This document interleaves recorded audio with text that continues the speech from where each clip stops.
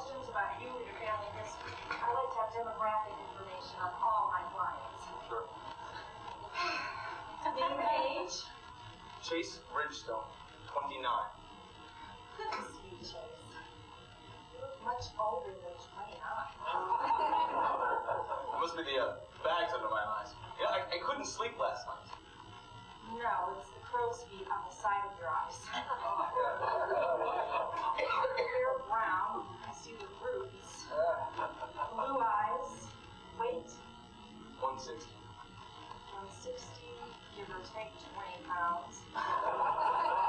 in the survey, a give or take? It's a standard error of measurement. Get it? Standard error of measurement? Where did you go to school? Sexual preference, gay. How do you know that? It Must be the roots. and your walk. Marital status single. Read the papers. Gays cannot marry unless one marries a woman and dates men on the side. And then the woman finds out that he slept with my brother. but that's all right. Because I'm meeting with a donor after my appointment with you. Donor? Sperm donor. huh? I'm going to be artificially inseminated. Isn't that exciting? It's my way of rectifying my divorce. That asshole gave me nothing for the four years I gave him. All he left behind was someone else's boxers in the hamper. Just think, Mr. Woodstone. The next time he sees me, I'll be with baby. He'll be jealous, guilty. He missed out on the joy of parenthood with me. Your mommy used to do more. Where did you go to school? I'm the one with the questionnaire, Mr. Richstone.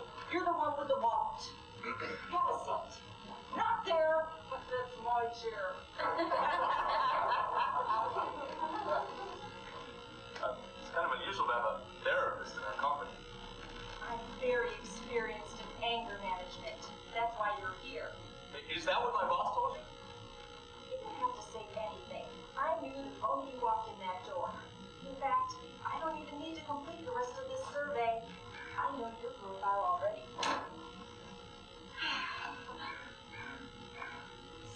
Stereotypical, queer homosexual drinks his way to a blissful state when his needs for reassurance are met.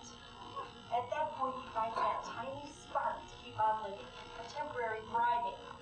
Hair of the dog the following morning, long hot showers alone, TV dinners, ingrown hairs on the back, and a few teddy bears on the next floor.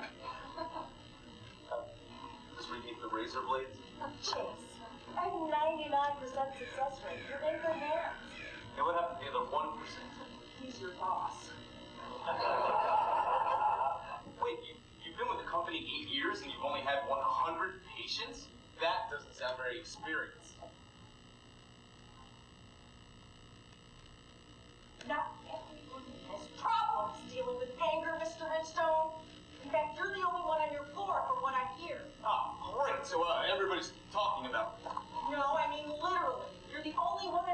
That I hear. Your voice travels. You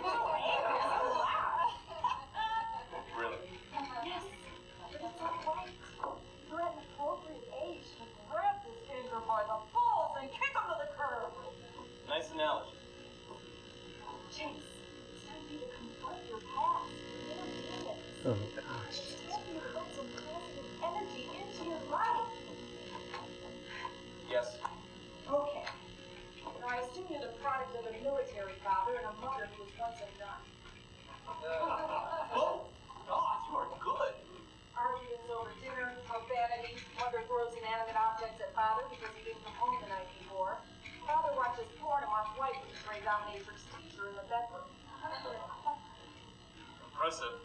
You got that whole profile the moment I walked through the door? No, that's what everyone's talking about. but it's all right.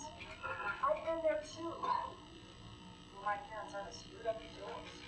But I've had my share of emotional stressors. I was the last of 15 children, the one with the lowest birth rate. I was colicky and needy of affection. And with so many brothers and sisters, it was hard to get noticed, a strain to get bottle fed.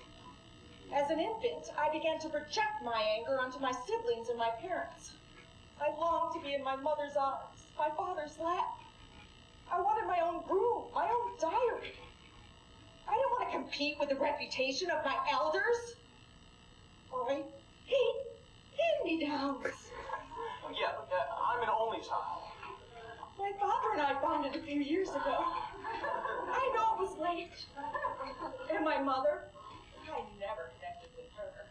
She died when I was seven. How did she die? I didn't do it.